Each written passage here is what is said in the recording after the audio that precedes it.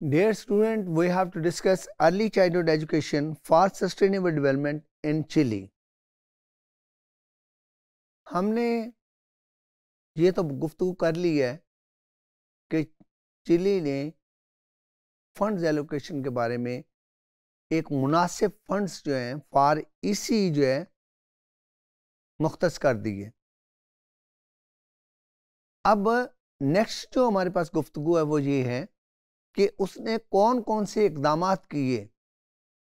और इन इकदाम के अंदर जैसे हमने बताया, उसके अंदर इंफ्रास्ट्रक्चर भी शामिल है टीचर्स ट्रेनिंग भी शामिल है, उसके अलावा वहाँ पे फैसिलिटीज़ वो भी हमारे पास शामिल है।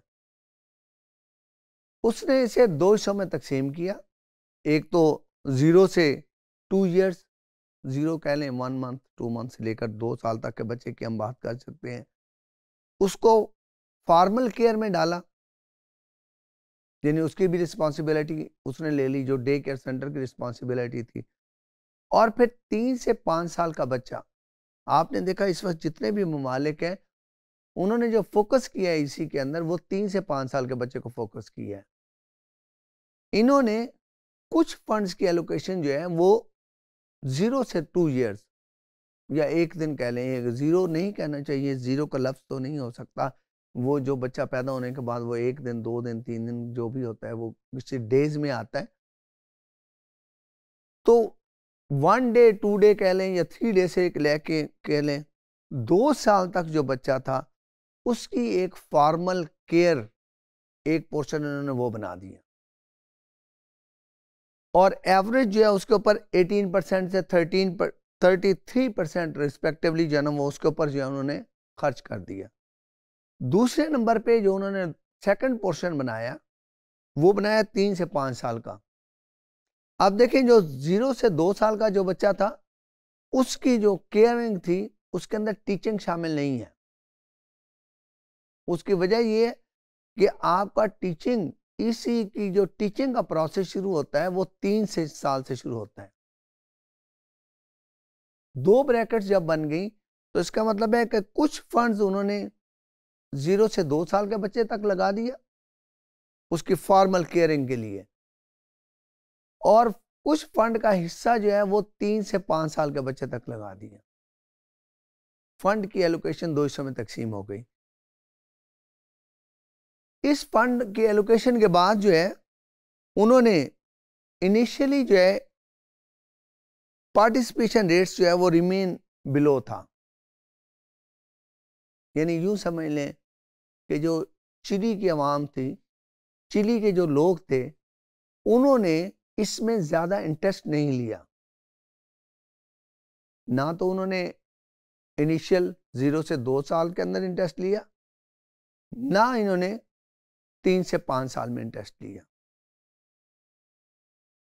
अगर तो हम तीन से पाँच साल की बात करते हैं तो वहाँ पे जो है उनका जो रेट था वो यूँ समझ लें कि अगर उसे कंपेयर किया जाए तो वो 54 परसेंट कंपेयर कर सकते हैं। हम 54 परसेंट उन्होंने, उनकी इनरोलमेंट थी। As compare to other country जो 71 परसेंट तक थी। इसका मतलब ये हुआ कि उनकी फंड्स एलोकेशन के बाद उनका जो इंटरेस्ट था कंट्री इंटरेस्ट था, वो 54 परसेंट तक रहा, इससे ज़्यादा नहीं रहा। लेकिन उन्होंने जो टीचर्स क्वालिफिकेशन थी उसके ऊपर उन्होंने बहुत ज़्यादा फोकस किया। उसकी एकेडमिक क्वालिफिकेशन और जो उसकी वर्किंग कंडीशन थी, उसके ऊपर भी उन्होंने काम किया। और जिस तरीके से आपने देखा कि बहुत से ममालिक ने यूनिवर्सिटी लेवल के ऊपर उन्होंने कोर्स ऑफ़र कराया, उसके बाद उसके जो टीचिंग स्ट्रेटजीज थी, उनको उन्होंने ऑफ़र करवाया कि इसी की टीचिंग स्ट्रेटजीज जो है वो सेपरेट की गई। आपने देखा कि कुछ ममालिक ने सस्टेनेबल डेवलपमेंट के गो, जो गोल्स थे उनको भी कोर्स का हिस्सा बनाया गया। यानी कि वो कंटेंट भी जो है ना कुछ जगहों पे इलेक्टिव सब्जेक्ट के लिए दिया गया। कि अगर टीचर पढ़ना चाहें तो वो पढ़ सकते हैं। कुछ जगह पे जहाँ पे टीचर्स ट्रेनिंग की गई उनको जो है कंटेंट कोर्स भी बाकायदा पढ़ाए गए।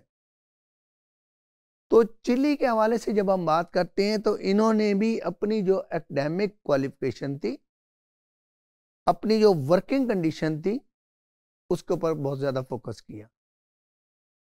और उन्होंने बैचलर डिग्री जो है, जो कि दुनिया में तमाम ममालिक के अंदर ऑफ़र की जा रही थी जैसे कि हमारे यहाँ भी, हमारे यहाँ पाकिस्तान के अंदर भी बी एस एजुकेशन के नाम से जो डिग्री ऑफ़र की जाती है। तो पूरी दुनिया में बी एस एजुकेशन के नाम से जो डिग्री है तो चिली ने भी बी एस एजुकेशन के नाम से डिग्री लॉन्च की। उसके अंदर जो फोकस किया तमाम मुल्कों की तरह, वो फोकस किया कि जो टीचर्स की ट्रेनिंग है, उस ट्रेनिंग के अंदर उन्होंने ईसीई e के बच्चों को फोकस किया। ईसीई e के बच्चों को किस किस्म की टीचिंग करनी चाहिए? उनकी पैटोगॉजिस क्या होंगी? उनकी कॉम्पिटेंसीज को कैसे असेस किया जाएगा? इसके बारे में टीचर्स ट्रेनिंग के दौरान उनको ये तमाम चीज़ें पढ़ाई जाने लगी।